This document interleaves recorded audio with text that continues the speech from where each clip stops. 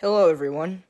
So this is a follow-up video to my last video. Um, sadly, I can't live stream this because um, my computer is acting up right now. But that's fine. It'll work. So in the background, or right here, actually, I should start off with this. This is my new locomotive. It is Union Pacific 2531, which I believe is an ES44AH. I have not taken it out of the box yet. It came today. It should have come tomorrow, but who cares?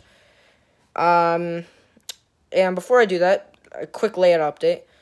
First of all, we have this locomotive over here, if it'll let me zoom in.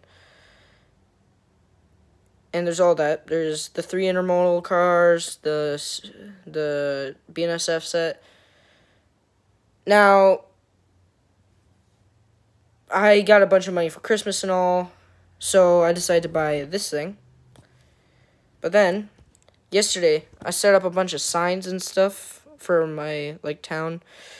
My dad stepped on one this morning, sadly. Yeah. And so we're going to just move it all, like, I'm planning on moving it to, like, that side where that locomotive currently is. But that's enough talking. Let's get started in this unboxing. So, let's start out by getting the scissors, cutting all that.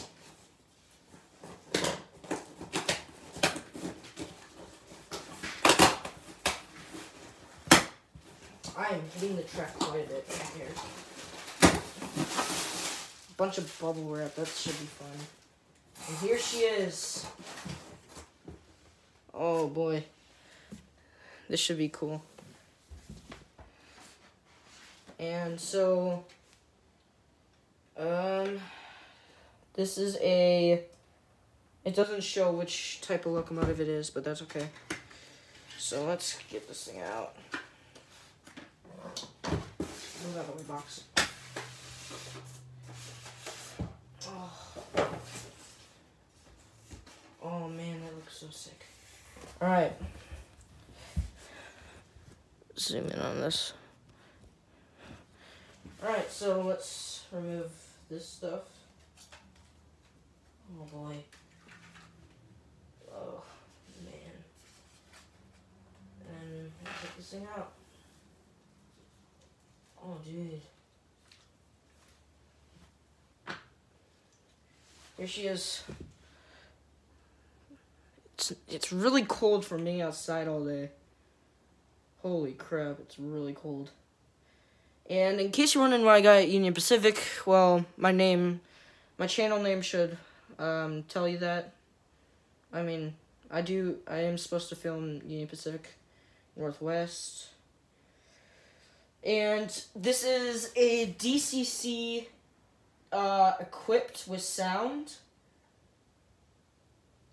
I will make another follow-up video to this later. But this is DCC equipped with sound. And I don't have a DCC controller yet. But once I do, oh boy, I'll be able to use the horn and everything. trying to not ruin this thing because of how nice it is. So, anyways, yes, this is a Gevo uh, it says C45AH, which is sometimes what Union Pacific calls its locomotives. Highly detailed. I mean, highly. Oh my god.